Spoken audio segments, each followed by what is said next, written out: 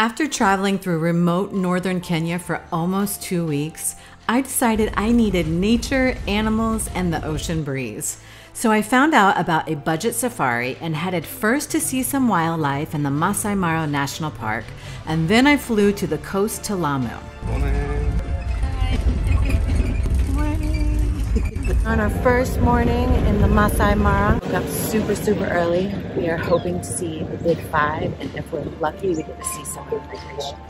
In Africa, the big five are elephants, the African buffalo, leopards, lions, and rhinos. I heard that the leopards and rhinos are the hardest to see. On this budget safari, you're paired with other people. It's a great way to experience some of the magic of the land without having to pay the high price fares. Before I came to Kenya, I had no idea this option even existed. My timing was very lucky because I happened to be here during the Great Migration. The main part of the migration had already happened, but we were told that there were still animals left behind that were waiting to cross, and so we might have a chance to see it.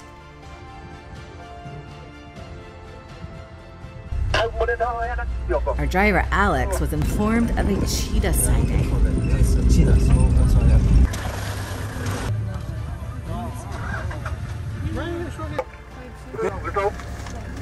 And then Alex got word of a lion taking a break in the shade. Oh my gosh. This is the exact location where the Great Migration happens. Every year, over a million wildebeest and zebras attempt to cross through the hippo and crocodile infested Mara River between Kenya and Tanzania.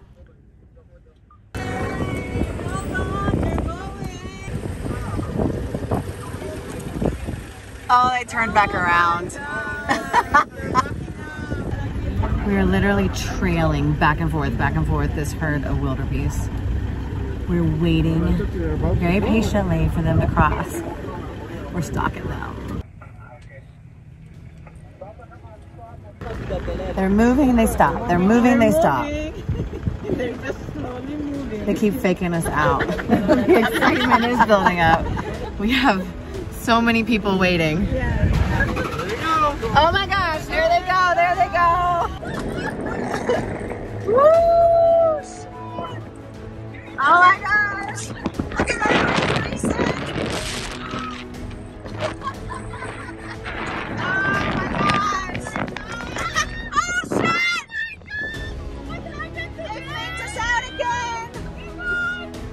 Just as we thought we were going to be able to see them cross, at the last minute, they turned back around, and so we were done trying.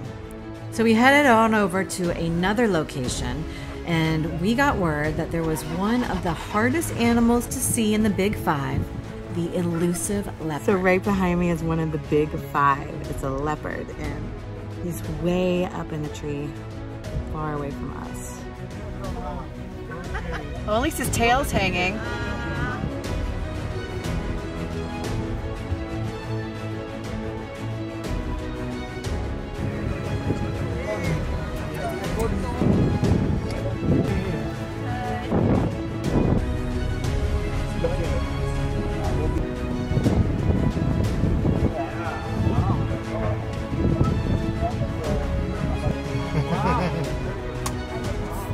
Buffalo in the background.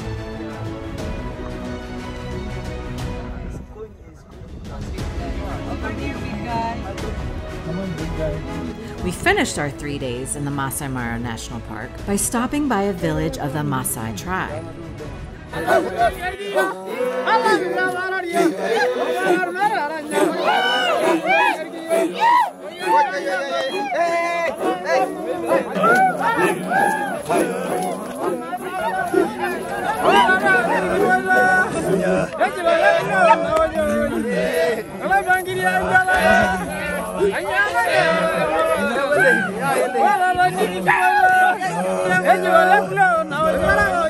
That's your brother? I want him to learn English. So Uh-huh. I'm very happy when he speak with you, Yeah. so that I can feel happy. There were tons of tables outside filled with jewelry and artifacts that the Maasai had made. I was literally in heaven. Say hi. Awesome. It was at this point of the trip that I left the first group and joined another car who were continuing on for another day. Beautiful day, beautiful day. First, we headed to Lake Naivasha, which is known for its huge hippopotamuses. And we even got to see a little baby.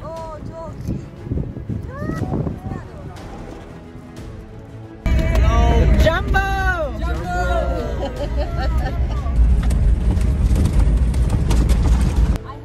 We have five rhinos behind us. So cool. So yesterday we left the Masai Mara Park, National Park, and today we headed to Lake Nakuru, which is another national park known for rhinos and flamingos. And already this morning we've seen many rhinos. So I finally have seen the big five. And I have a new friend, Jeff. Hello. Hello. So happy to be in your car. Yeah, having a nice girl here. No.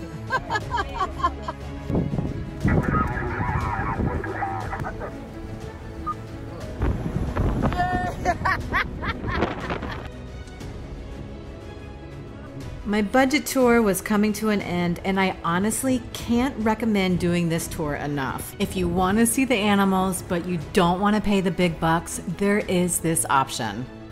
I got to see all of the big five plus more for a few hundred dollars compared to several thousand.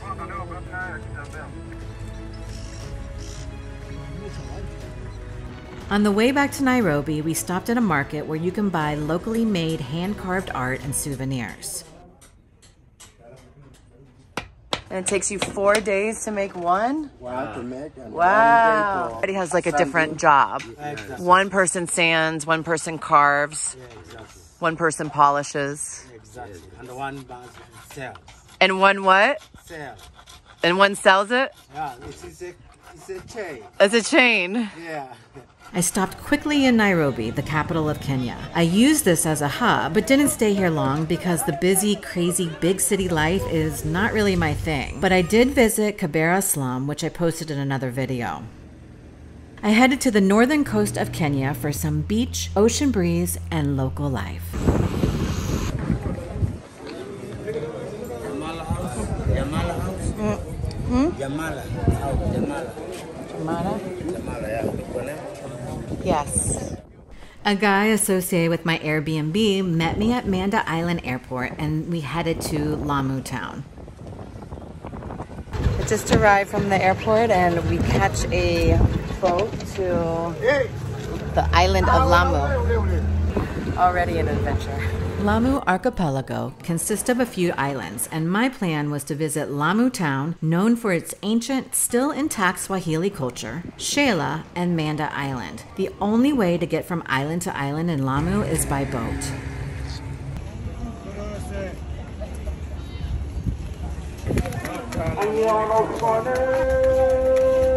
This way?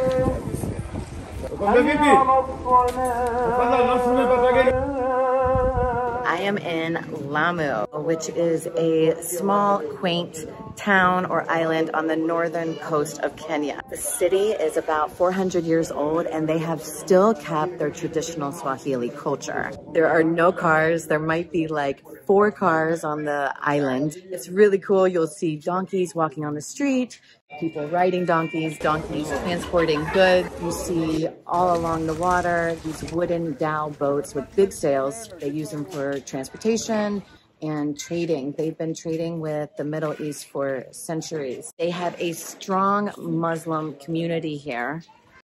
You'll see tons of people dressed in their traditional style of clothing. They have a mixture of people of Arabs and Portuguese and Indians. Hi. People here are very friendly. I was told at first that not to come here and take pictures and video, but for the most part, I've been welcomed. Really neat place. It has small, narrow streets. Kind of reminds me of Morocco.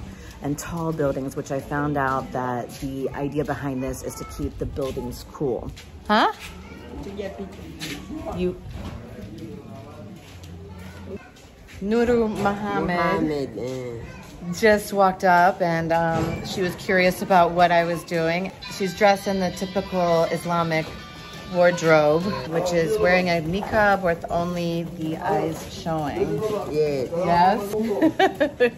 Before I decided to come to Lamu Town, I was reading all these blogs and talking to people, and they said, Don't go to Lamu Town, there's nothing there. Go on to Shela, which is where everyone hangs out for more of the relaxed, laid back boat lifestyle. But I just had a feeling that I needed to come here to experience some of the Swahili culture and local life. Jumbo.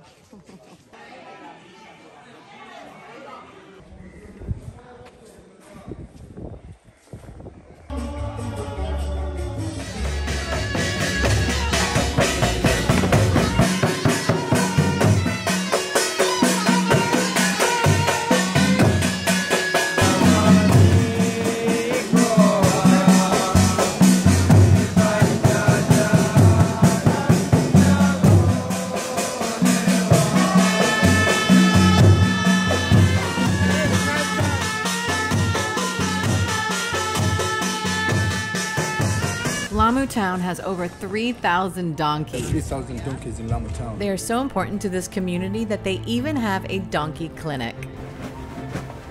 I'm with one of the blacksmiths of Lamu. He makes this fire in the ground and then heats up different types of metal to make the anchors for the dhow boats and even metal doors for the homes. When you heat up the metal like this, you can bend it really easily.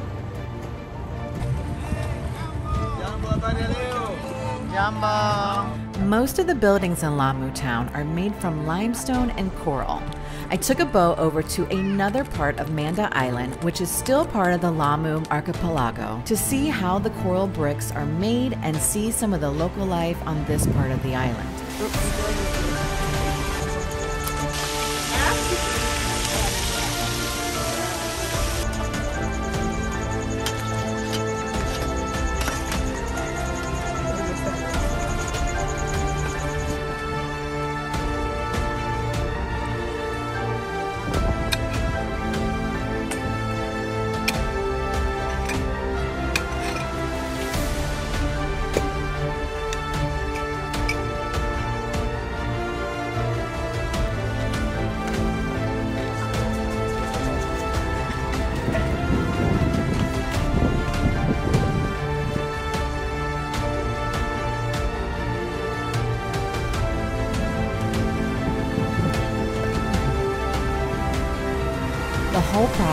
Is very labor intensive, from cutting it out of the earth to carrying it on top of their head. It is not an easy job.